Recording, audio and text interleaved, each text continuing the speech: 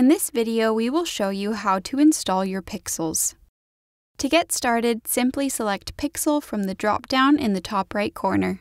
This will display the code for both the tracking and conversion pixels. The tracking pixel must be placed on all pages of your site, while the conversion pixel needs only to be installed on your point of conversion.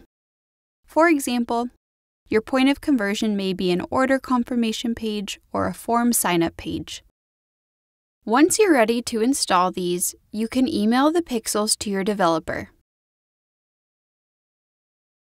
In addition to installing the pixels, you also need to provide site details. This includes your Google Analytics account ID, your point of conversion, and your test site URL. If you are not planning on using a test site, you can leave that field blank.